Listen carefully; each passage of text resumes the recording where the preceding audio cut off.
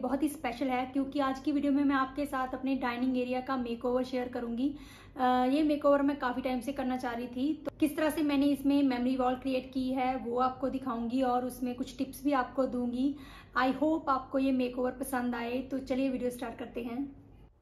तो सबसे पहले हम मेमोरी वॉल क्रिएट करेंगे। सारे फ़ोटो फ्रेम स्ट्रेट लाइन में हों। इसके लिए हमने फ्लोर से ऊपर की तरफ़ जितनी हाइट पे फ़ोटो फ्रेम लगाने हैं, वो मेजर कर लिया और एक थ्रेड लेके दोनों तरफ़ टेप से पेस्ट कर लिया। इससे हमें एक स्ट्रेट लाइन मिल गई।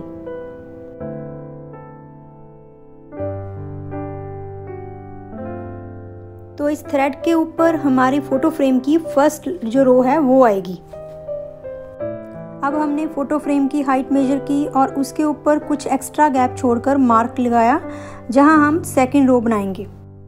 तो सेकंड रो के लिए सेम पहले की तरह ही एक थ्रेड से स्ट्रेट लाइन बना ली। थर्ड रो के लिए फिर से फ़ोटो फ्रेम की हाइट मेजर की और कुछ एक्स्ट्रा गैप छोड़कर एक और लाइन थ्रेड से बना ली।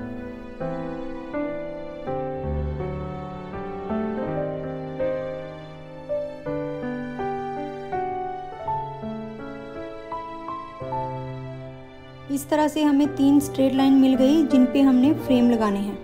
अब हमने दोनों साइड पे जितना गैप छोड़ना है, वो मार्क कर लिया और 12 फ्रेम्स हैं जिनको हमने 4 4 के सेट में थ्री रोज में लगाना है।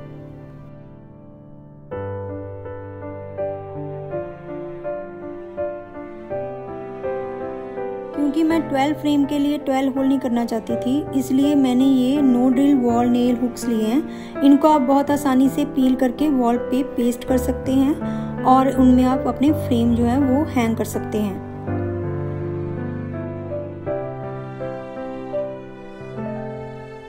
अब हमने यहाँ पे स्टिकर नेल पेस्ट करने हैं वो मेजर कर लिया। आ, हर रो में फोर पॉइंट्स रखे हैं जहाँ पे फ्रेम हैंग होंगे।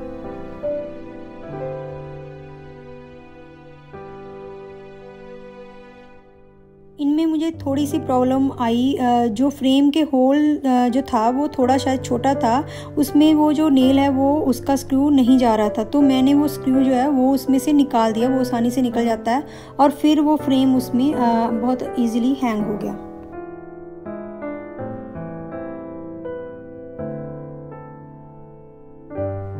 सारे नेल्स लग चुके हैं तो अब हम फ्रेम्स हैंग करते हैं।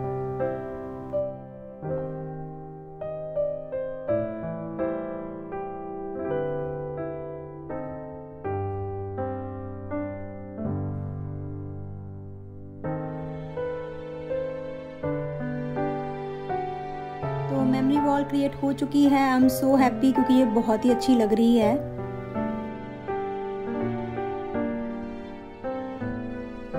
अब ये वाली वॉल मेमोरी वॉल के ऑपोजिट पे है। इस पे मैंने एक कस्टमाइज्ड मिरर लगाया है।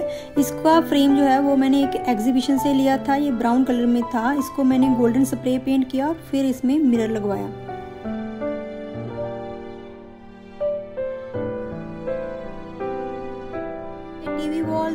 वॉल के सेंटर में है। इसके नीचे जो शेल्फ है, उसको मैंने वाइट कलर से पेंट किया है।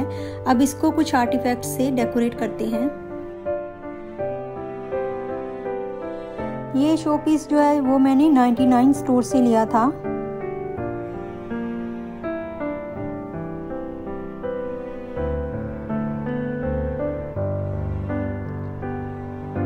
इसको मैंने काफ़ी टाइम पहले होम सेंटर से बाय किया था।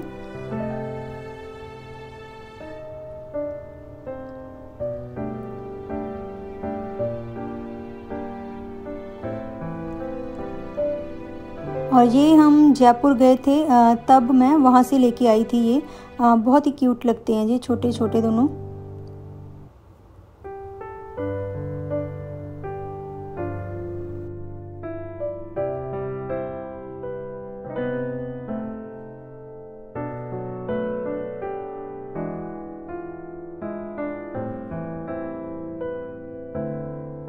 अब लास्ट में डाइनिंग टेबल इसकी डेकोरेशन टेम्प्रेरी है, क्योंकि मेरा बेटा छोटा है तो हम यहाँ कुछ भी नहीं रख सकते। तो इसको डेकोरेट करने के लिए मैंने एक टेबल रनर लिया, जो कि मैंने फ़्लिपकार्ट से लिया है, और उसके ऊपर जो वास है, वो मैंने अमेज़ोन से लिया था, और उसमें जो प्लांट आर्टिफिशियल प्लांट आप देख रहे हो, वो भी मैंने फ़्लिपकार्ट से लिया है। इन सभी प्रोडक्ट के लिंक आपको डिस्क्रिप्शन बॉक्स में मिल जाएँगे। आई होप आपको ये मेक ओवर पसंद आया हो तो इसके बाद मैं आपके साथ अपने लिविंग रूम का मेक ओवर भी शेयर करूँगी। तो अगर आप वो देखना चाहते हैं तो मेरे चैनल को सब्सक्राइब ज़रूर करना। और अगर ये वीडियो आपको पसंद आई है तो मेरे इस वीडियो को प्लीज़ लाइक करना शेयर करना। तो मिलते हैं नेक्स्ट वीडियो में। तब तक के लिए बाय बाय